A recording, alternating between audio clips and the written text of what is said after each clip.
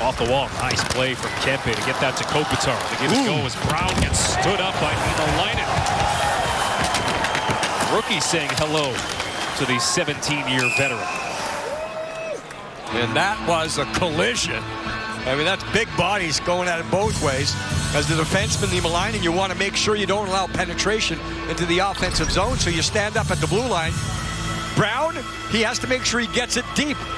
And the contact is shoulder on chest. Completely legal, no problem. Line him up. Brown's trying to kind of jump out of the way at the same time. Both guys go down for a split second. That's good hockey right there. Rare do you see Brown hit that hard. He's almost always the one delivering. Face off to the right of Koskinen.